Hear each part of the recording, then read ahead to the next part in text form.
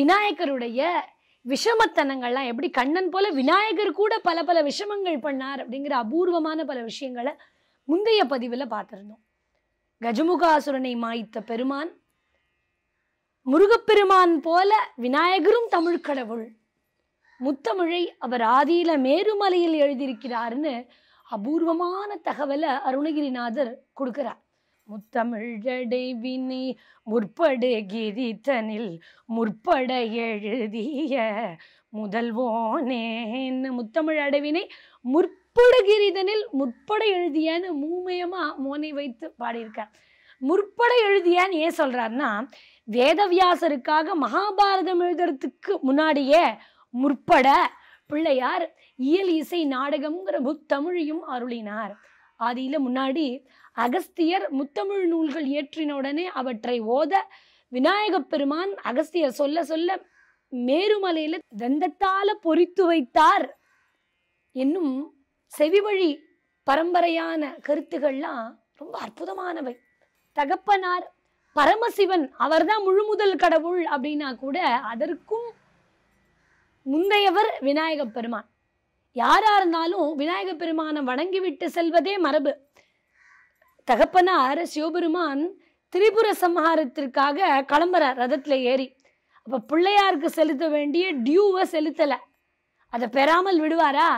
பிள்ளையாருக்கு முதல் பூஜைங்கிறது தேவர்கள் எல்லாரும் தீர்மானித்து விட்ட விதி.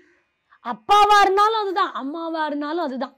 ரதம் போற வழியில அச்சு முறிஞ்சு போச்சு.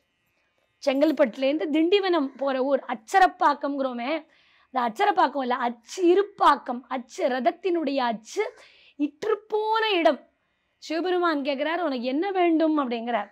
உன்னுடைய சிரசு வேண்டும்னா என்ன அர்த்தம்னா தலை வேணும் முக்கனுடைய தேங்காயை நம்ம அதனாலையும் சிதற வைக்கிறோம் அப்படிங்கிறது அற்புதமான ஒரு விஷயம். தேங்காய் சிதறு தேங்காய் போடுவதுங்கிறதுக்கு பல்வேறு காரணங்கள். அதில் ஒரு முக்கியமான காரணம் முக்கனுடைய தேங்காயை நாம் இறைவனுக்கு சமர்ப்பிக்கிறோம்.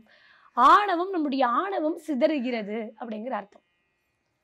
விநாயகா விரைந்து வா. விநாயகர் சிவசமானர்.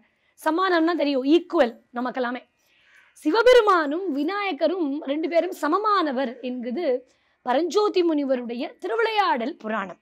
திருவிளையாடல் புராணத்தில் வலை வீசின படலம் அப்படிங்கிற படத்தில் அழகான விதி.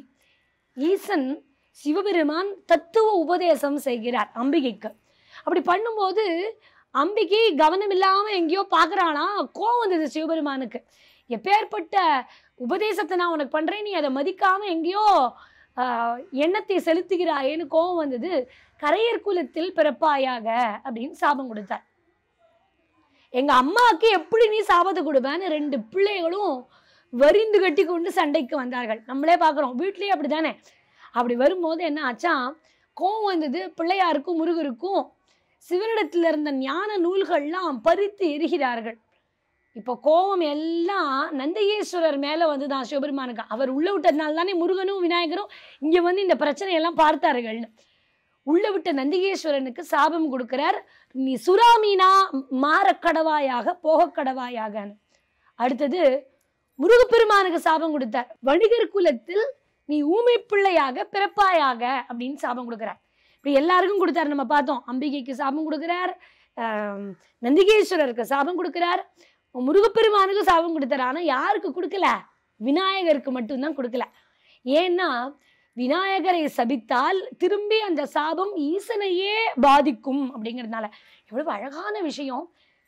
பெருவரு செலவின் வேழமுகத்தினை விதித்த சாபம் பெருவலி தன்னை சாரும் பெற்றியால் சாபம் கூறான்.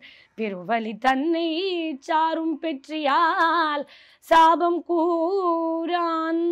பெருவலு பெருவரு செலவின் வேழமுகத்தினை விதித்த சாபம். ஒரு கால் விநாயக பெருமானுக்கு சாபம் வந்தா பெருவலி தன்னை சாரும். அது தனக்கே வரும் அப்படிங்கறதுனால சிவபெருமான் சாபம் கூறான்.